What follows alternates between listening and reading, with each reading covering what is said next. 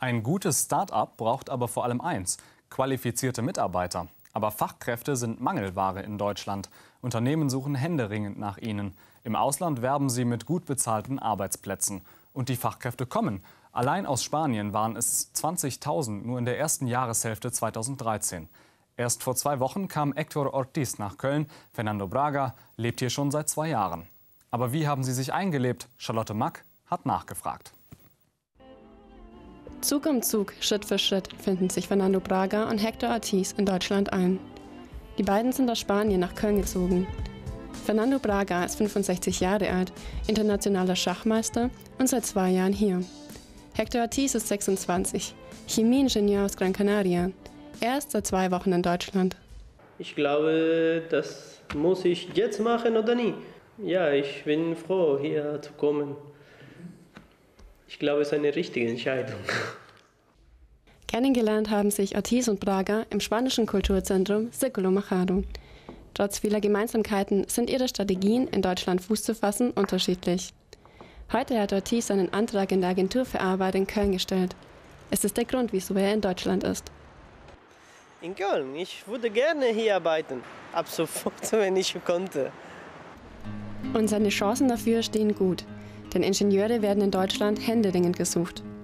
Was den Weg zur Festanstellung beschwerlich macht, ist die Sprache. Wenn man in einem Land leben will, man muss die Sprache von diesem Land lernen. Ohne den kannst du nicht dich kommunizieren mit den Leuten. Es fehlt wohl nicht mehr viel, bis Ortiz die deutsche Sprache frei und fließend sprechen wird, denn er nimmt täglich Unterricht. Der 65-jährige Braga baut seine Existenz in Deutschland auf ein anderes Fundament. In Madrid besaß er eine Schachschule mit 80 Lehrern. Auch in Deutschland möchte er eine solche Schule aufbauen. Er lernt Deutsch, doch im Schach sei die Sprache nicht das Wichtigste. Äh, okay, meine Arbeit ist ein bisschen speziell. No? Ich habe eine Experience, no? Eine Erfahrung. Erfahrung das ist viel besser. Aber ich habe jetzt die, eine große Erfahrung in, in Schachlehrer. Bragas Traum vom Neustart in Köln hat sich bisher nicht erfüllt. Der Anfang in Deutschland fiel schwer. Im spanischen Kulturkreis fand er einen ersten Anschluss. González Tejon ist Präsident des Círculo Machado. Ziehen Spanier nach Köln, ist er oft der erste Ansprechpartner. Er weiß, worauf es ankommt, um hier Fuß zu fassen. Idealerweise natürlich, je jünger man ist, desto einfacher, weil es einfacher Leute kennenzulernen, wenn man die Sprache äh, schon kann. Natürlich sind äh, alle Tür wieder äh, offen.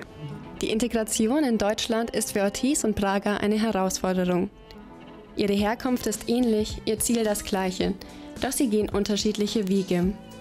Ortiz hat seine Eröffnung erst gemacht. Das Spiel steht ihm noch offen.